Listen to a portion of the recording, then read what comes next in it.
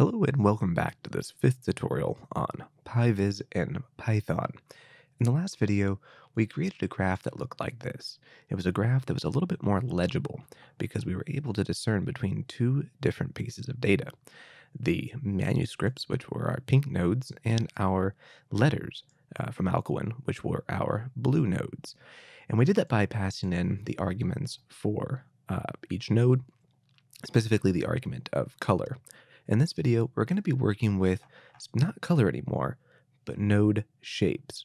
And what this is going to do is it's going to provide another element in our map that allows us to distinguish between two different types of data. so what we're going to do is we're going to make our manuscripts not only different in color, but different in shape. And the same thing goes for our letters. That way, when we look at our dynamic network graph, we can actually discern uh, differences between data much more easily, much more efficiently. And by also including shapes in your graph, you can differentiate between uh, types of data. So if I were to be working with these letters, some of these are genuinely Alcuin letters, some of them are not, I can change uh, the shape of the blue nodes to allow the uh, user to very easily identify the difference between a real Alcuinian letter and a fake one, should I wish to do that. So that's why you should consider shapes. In PyVis, uh, there are really two different kinds of shapes. There are shapes that have the label inside of the shape, and then there are shapes that have the label outside of it. So let's pull this graph down one more time. The default shape in PyVis is going to be the dot. And as you can tell, the label, mm, let's look at this right here, letter 36, is located underneath the dot. This is an example of a shape that has the label outside of it. But what happens if we start looking at data that has the labels inside of it? Well, what's going to happen is PyVis is going to have to squeeze the text of that label into the node. So this means that it's going to affect the node size. The longer that text is, the larger that node will become. And we're going to see that in this video.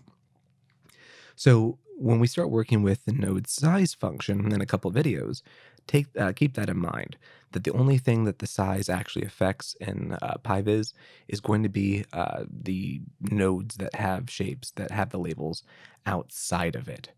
So the type of things that you can actually make in PyVis with labels inside of it are an ellipse, a circle, a database, a box, and just text. We're going to see all five of these today. Uh, the other uh, example that we have is labels that are outside of it. We've already seen the dot. And we're only going to see a couple of these in this video. I'm going to save images for a later one, but we're going to look at the dot, uh, or the diamond, the star, and the triangle, just to give you a sense. You can pass in all of these arguments the exact same way just by changing up uh, the actual string that you're passing to that argument. That's going to make more sense when we get to it in just a second.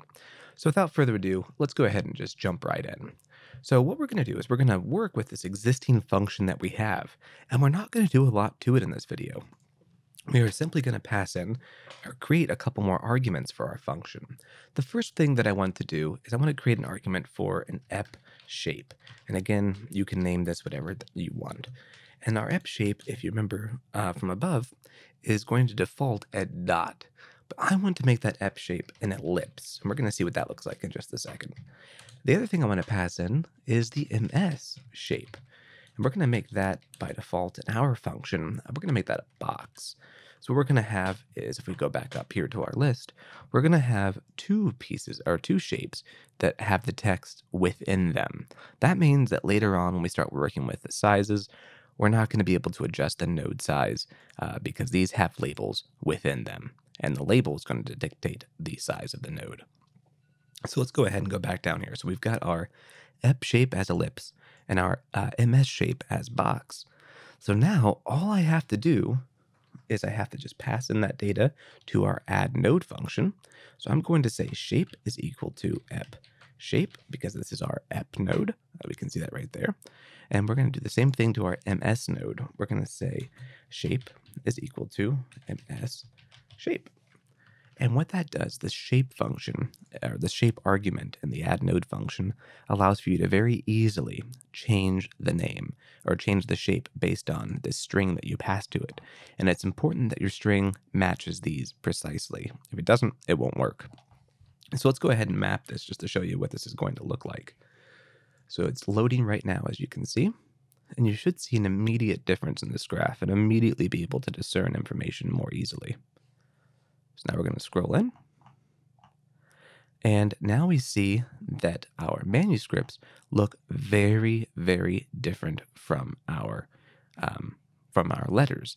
While the manuscript is rendered with this box, uh, the letters have this uh, circle with the text inside of it. From a distance, it doesn't look that different, uh, but when we zoom in, we can actually discern changes more easily one of the things that's happening right now is we're using, I forget the algorithm that's default here, but when we start exploring algorithms in the next video, we can make this map a lot more legible. We can start adjusting the spacing between all of these nodes and make it where we can kind of discern things more easily from this distance. For right now, though, we haven't added those parameters. We'll do that in a later video. But right now, you can see the effect that the shape argument has on our graph. so let's go ahead and experiment with a couple of these other ones. Let's see what a database looks like. So all I'm going to do here, and I can change this now down here. I can say ep, let's make it ep, uh, ms shape is going to be equal to database. And just for fun, let's go ahead and see what the star looks like if we do that for ep shape. So I'm going to say star.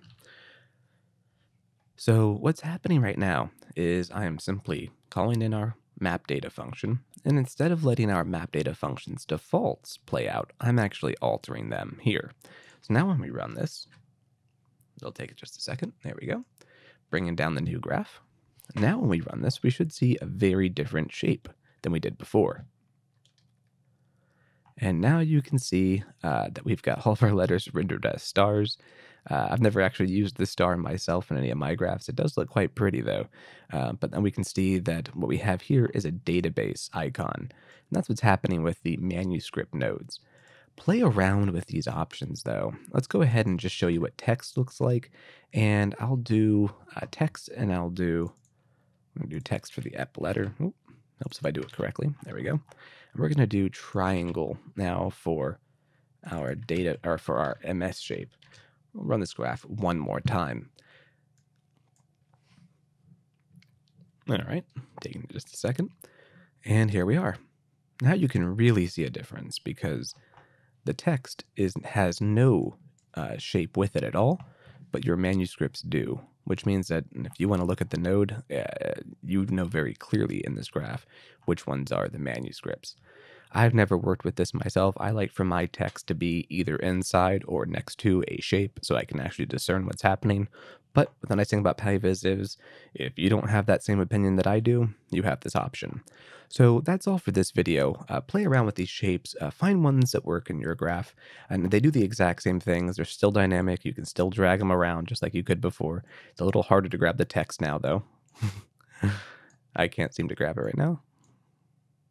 There we go you have to be a little bit more precise and actually touch the actual text. But play around with the different shapes and see which ones work well for your graph. In the next video, we're going to start working with algorithms and actually start playing around with the different Barnes-Hut algorithm, the forced algorithms that uh, PyVis has in its library to actually start making this graph look a lot better. That's all for this video, though. Thank you for listening, and please subscribe down below.